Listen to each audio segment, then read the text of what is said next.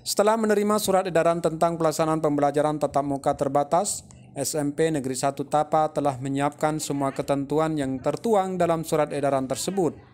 Bahkan di masa pandemik saat ini, sekalipun Bone Bolango sudah masuk kawasan hijau penyebaran virus COVID-19, namun setiap guru dan siswa harus betul-betul menerapkan standar protokol kesehatan dengan ketat. Hal ini terlihat di saat suasana hari pertama masuk sekolah. Setiap guru dan siswa yang mau masuk kawasan sekolah diwajibkan memakai masker, pengecekan suhu tubuh dan mencuci tangan sebelum masuk sekolah. Begitu juga dalam ruang sekolah tempat duduk siswa telah didesain berjarak. Bukan hanya ruangan, pihak sekolah juga telah mensterilkan ruang UKS bagi siswanya.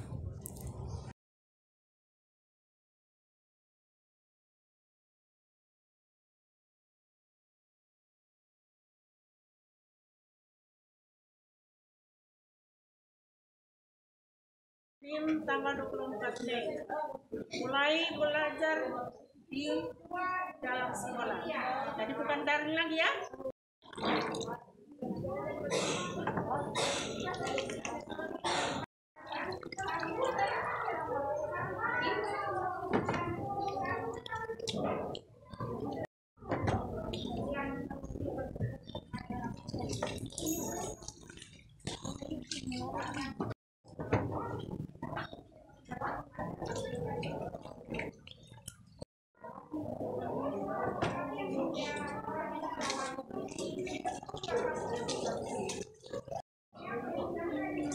Ikut sebelah? Ikut sebelah. Berapa? Oh, parah. Oh, persis di guru.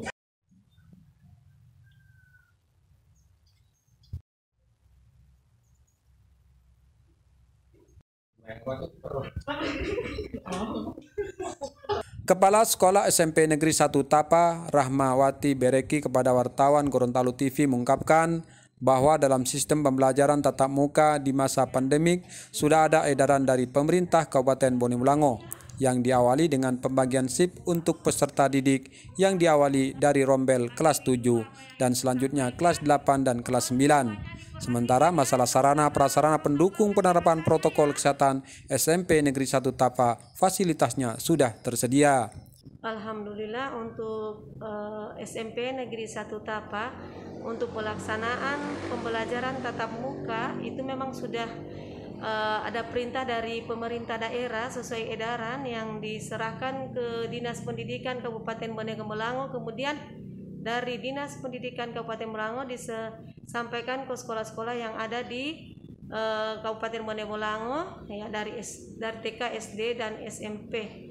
Kemudian untuk SMP 1 Tapa, alhamdulillah pada hari ini karena ditetapkan pembukaan pembelajaran tatap muka itu tanggal 24 Mei 2021 maka kami dari pihak sekolah sudah melaksanakan itu pelajaran tatap muka tapi diawali dengan pembagian persip untuk uh, peserta didik yang diawali dengan rombel kelas 7 pada hari ini.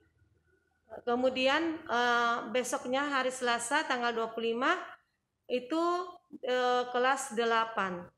Setelah dibagi persip untuk pembelajaran setiap kelas itu karena peserta didiknya setiap kelas itu uh, dengan jumlah minimal 30 orang dan maksimalnya ada 32 orang sesuai dengan uh, aturan uh, dapedik di uh, dapedik yang ada itu setiap uh, kelas itu harus terisi yaitu minimal 30 orang dan maksimalnya 32 orang.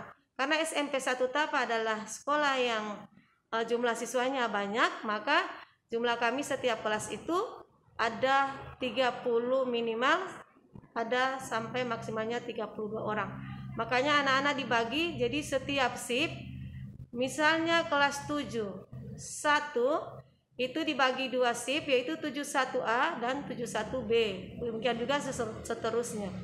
Jadi untuk pembelajaran ini juga kami dari pihak sekolah tetap memperhatikan protokol kesehatan. Ini bukan karena dibukanya ini sekolah tetap muka, bukan karena pandeminya tidak ada lagi, tapi ya eh, kami tetap diingatkan oleh Pak Bupati tetap eh, waspada dan kondisi ini supaya tidak akan muncul lagi klaster-klaster yang akan uh, menyebabkan uh, Bone Bolango akan uh, masuk di zona uh, kembali ke zona merah lagi. Alhamdulillah untuk Bone Bolango kemarin penyampaian Bupati kita sudah masuk di zona hijau. Makanya mulai hari ini kami uh, melalui Dinas Pendidikan melaksanakan pembelajaran tatap muka. Apa-apa yang disediakan di anu, fasilitas untuk protokol kesehatan? Alhamdulillah kami memang sudah dari kemarin sudah menyiapkan, sudah memang sudah dianggarkan untuk uh, prokes itu. Dari mulai uh, pelaksanaan uh, ujian secara tatap muka oleh kelas 9 kami sudah menyiapkan segala sesuatunya untuk protokol kesehatan. Mulai dari anak-anak uh, masuk itu sudah uh, melakukan uh, cuci tangan.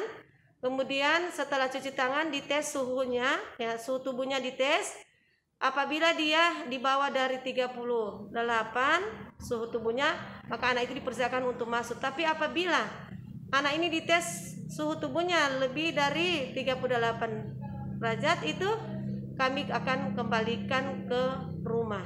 Kemudian awal pembelajaran ini juga alhamdulillah e, diantar oleh e, orang tua. Karena setelah diantar oleh orang tua kami pada saat anak-anak dibagi persib kami dari uh, sekolah juga memprogramkan ada undang orang tua itu akan mensosialisasikan uh, teknis pelaksanaan daripada pembelajaran tatap muka ini. Lalu bagaimana tanggapan orang tua murid pada program pembelajaran tatap muka yang akan diterapkan di sekolah ini? Ditemui terpisah, salah seorang orang tua murid yang sedang mengikuti sosialisasi di sekolah mengaku mendukung program tersebut.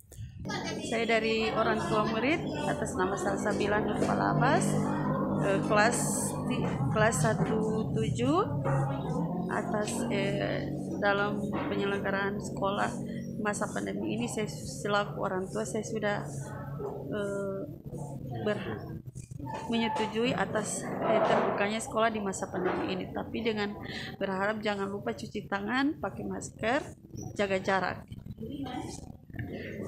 SMP Negeri 1 Tapa saat ini jumlah siswanya mencapai 650 siswa yang terdiri dari siswa kelas 7 198 siswa, kelas 8 231 siswa, dan kelas 9 sebanyak 221 siswa. Jumlah siswa yang cukup banyak ini menjadi prioritas sekolah bagaimana keberadaan guru dan siswa betul-betul terjamin kesehatannya, terutama terhadap penyebaran virus COVID-19. Dari Bone Bulango, Soekarno melaporkan.